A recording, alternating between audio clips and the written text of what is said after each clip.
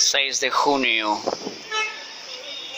siendo las creo si no me equivoco las 5 y 25 de la tarde. Y así está el clima. Bastante nublado poca luz. Totalmente diferente hace unas semanas las nubes están ahí bastante nublado. Estoy en la plaza San Martín la plaza San Martín